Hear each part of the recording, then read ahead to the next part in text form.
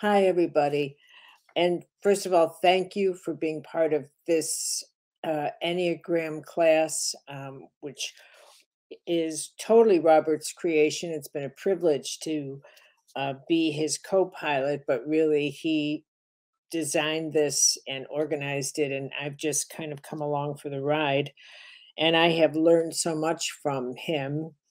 And I am deeply, deeply appreciative of his wisdom and his abundant love that flows through uh, every one of his teachings. He is, I assure you, as loving as the material that he teaches.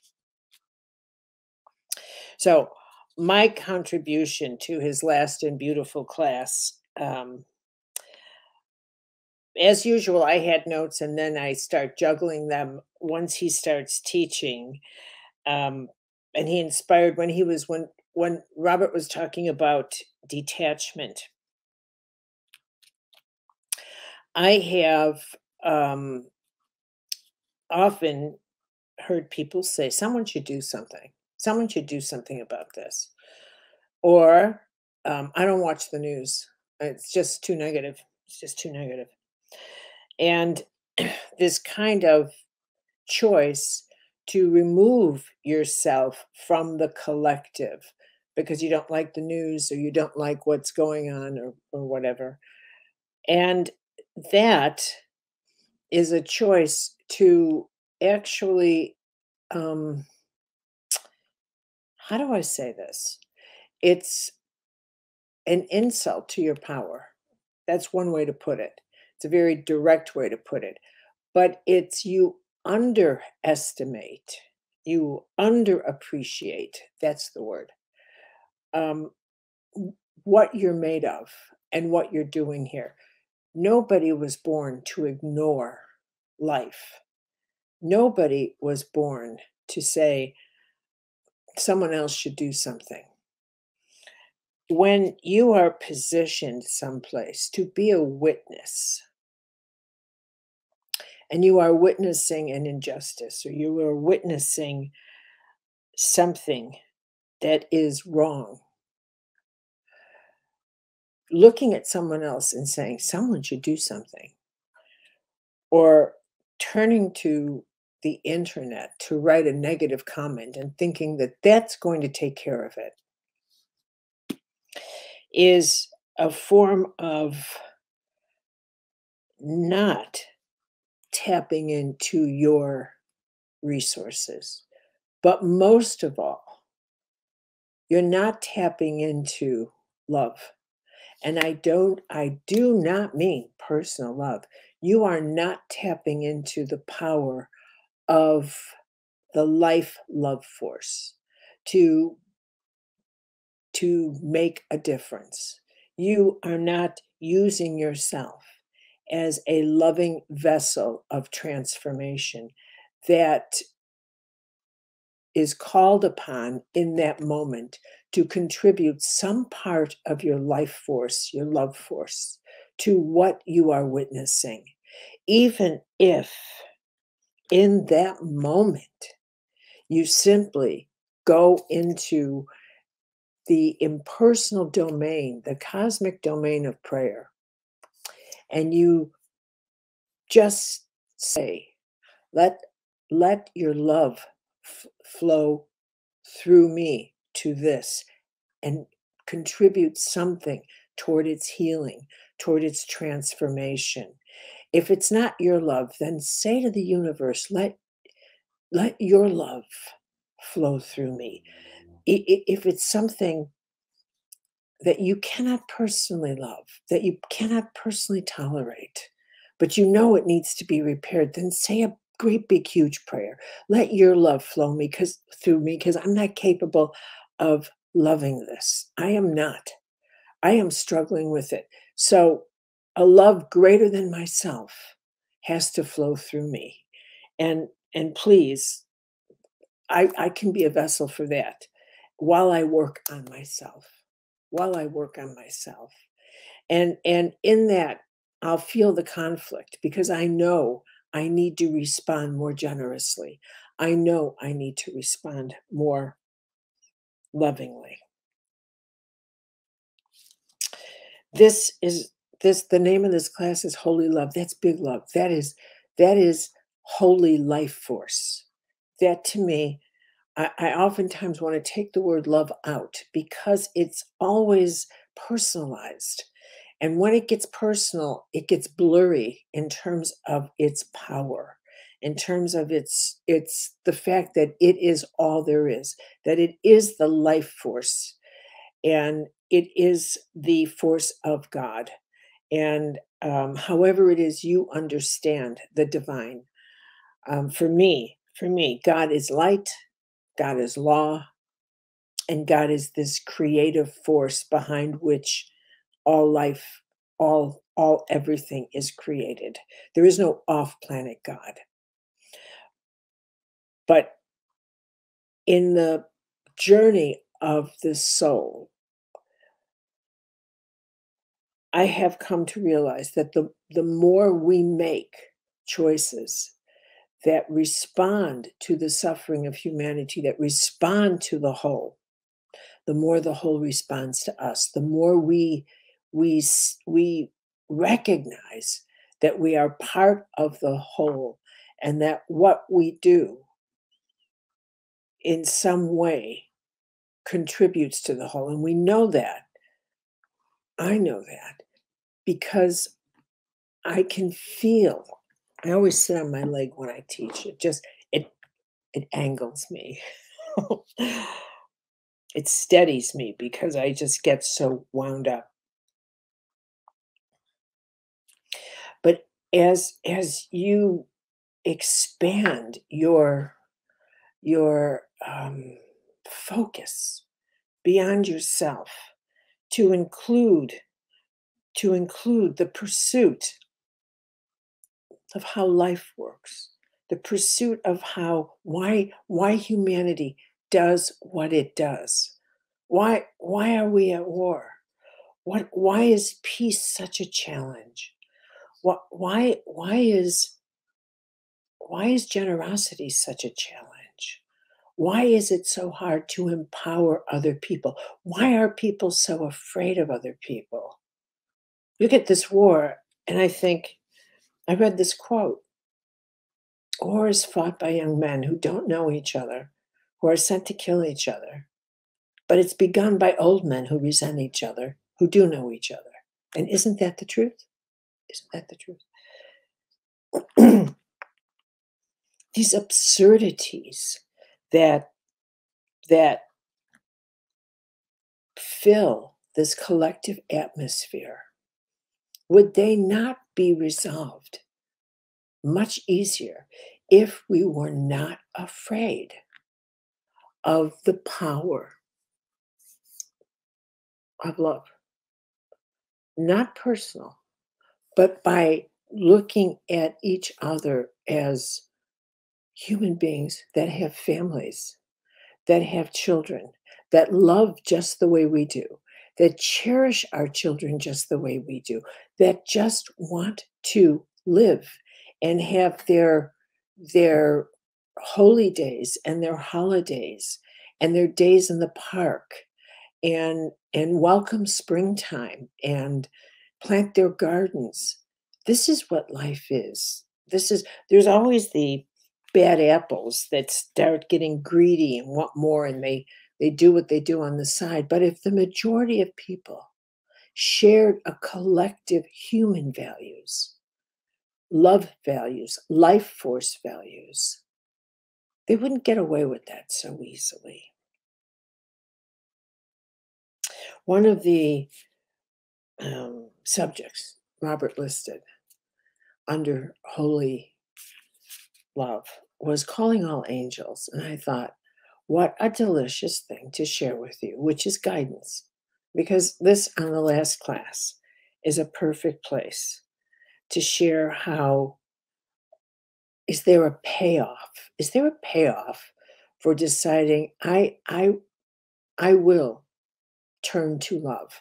I will use I will use myself as a vessel. I'll do love experiments instead of choosing angry language I'll hold back and think Is there is there a kinder word I can use when I speak to this person? Is there a kinder tone of voice I can use? Is there a kinder way of thinking? And as a medical to, intuitive, all my years, all my years in in in health, what amazed me, several things, several things amazed me, but it really did as I grew to appreciate how much impact we actually had in in what happens within our physical mental psychological spiritual form that there was a co-creative dynamic going on. And if it was going on in our micro earth it by god was going on in our macro earth that we that that this is not a dead thing that just responds to a cheeseburger that i ate that it also responds to the way i thought and if you pay attention to yourself really pay attention go into the observational mode and pay attention you cannot help but notice that if you dwell in anger or resentment or self pity or any of those negative thoughts, that your body will give you the gift of negativity. You will feel negative. Anger, anger starts your blood boiling, literally. And eventually you'll start getting headaches and, and, and your joints will start swelling from it. You'll get a, you'll get it, you'll get conditions that ache you'll get chronic pain you'll get you'll get conditions stomach you'll get stomach issues you'll this the anger is and resentment rage these do not settle well within your bio spiritual ecology it just doesn't but if you dwelled on love even if you counteracted these ordinary human emotions, let's face it, everybody gets angry, everybody gets resentful, everybody gets that kind of way, everybody gets exhausted. But if you decided, in addition to taking an aspirin, you decided, I need to put my feet up and just think about love for a minute. I need to to to to think about something I love. I need to think get to appreciation. I need to get to a place where I'm flowing again. I need to get to that place. I need to because my life is not all that bad and I am I will not be captured as Teresa of Avila would say. I will not let a reptile control me. And that's what she called these dark thoughts, reptiles. You have to get back to, to a place of love because as a prayer, dwelling in love, searching for it, seeking it, trying to make that your your your everyday main diet, main diet. Even though you may have a side dish of resentment, your main diet is appreciation and love. It's like saying a prayer every day in an indirect way. Thank you for my life. Thank you for my life. Thank you. Thank you for putting me here. It wasn't a mistake and I'm not lost and and you didn't screw up. But dwelling in anger dwelling in resentment, thinking nothing works, da da da da, complaining, complaining, and self pity is like saying to God, You screwed up. You screwed up and you owe me an explanation. And I am not living my life. I'm not playing. I won't do a thing until I get an explanation for this. It's like a tantrum, which brings me to guidance. How does guidance work? How does guidance work? It's actually um, spiritually logical. Just think of yourself as a parent. Think of yourself like when your child or when anybody is in a rage, do you then offer guidance? Is that the best time to make a suggestion to someone, especially if that suggestion is not going to strike them the right way? Especially if then. Is that the best time? Don't you usually decide there's got to be a right, better time for me to introduce to this person a higher idea that they have to change, that he or she has to shift a habit, maybe drop sugar, maybe consider that they're an alcoholic. Maybe they have to apologize. Maybe they have to really deal with the impact of their pride and prideful decisions on the people around them.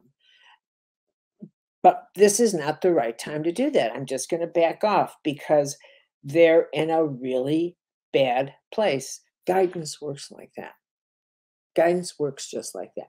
Now, if someone came up to you and said, I really am looking for counsel on how to, I love this person and I need counsel on how to provide loving guidance for them. The door is wide open. The door is wide open. The possibility of how that discussion can happen, of what can be said, of how it can be said, is wide open, is infinite. Counsel is grace, not guidance. It's grace. It's one of the graces. How do angels work? How, do they work? They to say work, that's not even the right word. What's angelic protocol? Let's put it that way. Love greases angelic wheels, shall we say. Intention, um, the functioning of your heart, the functioning of, of you, and where, why you're asking for guidance, and and how what the temperature within you. The um, I'm no expert on angels, but I've had experiences of my own in my own way. And um, while I've never seen an angel that I know of, I've I've had those incredible experiences of hearing guidance and very clearly, very directly, very briefly very clearly, very directly, very briefly. And each time, each time, guidance has been delivered in that whispering, unmistakable voice. It has always been to direct me to the next place, next decision, next choice I need to make. And I have made that choice within one hour. I have never so far, so far, so far dropped that ball. And in each case, it has improved, redirected the whole of my life, or saved my life, or saved my life. In none of the cases was I focused on um, trying to understand another person or or anger or any negative emotion whatsoever. In fact, I would have to say that in when I asked for guidance, what do, what do I do next? In one case, when I moved from New Hampshire back to the Midwest, I I I was living in a state of confusion or chaos, but I wasn't actively praying in the sense of, what do I do? What do I do? But I was living in this way that said, that was like an active prayer, um, an active trust that was, I'll be here until I'm not supposed to be here, I guess. I mean, I it never occurred to me that I wouldn't be guided. And that is itself a form of living in the love and life force of God. Just, it, it never occurred to me that I would not get guidance when I needed guidance. I, I, can't explain it any other way. And when I was on my way back from England, I was teaching over in England, it was 1992. Um, the plane's landing in Boston, and I look out, and of course, Boston is a magnificent city.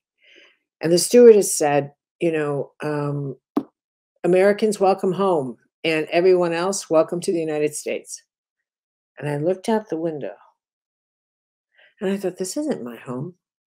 And all of a sudden, I felt detached, like this incredible detachment, as if all my connections. Now, this is the kind of detachment that Robert was not talking about. This was not my choice to detach because I didn't care. It was quite the opposite. It was when you want to care and you can't be attached, which is a very different kind of feeling. Anyway, I, I get back to my, the farm on, in New Hampshire. I have my luggage. I walk right in the door and boom, I hear the guidance move home now. Just like that. Just like that. That's all. And I, I put down my luggage. I never took off my coat. I arranged the whole move in 20 minutes, everything, everything. Contacted the people and said, I'm moving out of the farmhouse. I got I got a van from U-Haul, got my brother a plane ticket so he could help drive me home. I mean, got the whole thing, got my movers to come in, the P, uh, got a team to help pack up the house, and then I took off my coat. 20 minutes.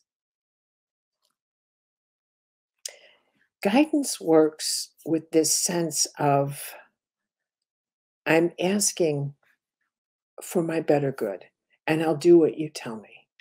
And and I I won't I won't fight it. It guidance always directs you. The way the angels work is they will never eclipse or interfere with your life. They won't make a decision for you. But when you are always in that sort of, what do I do? Where do I, where do I go? What what do you need me to do to do to do next?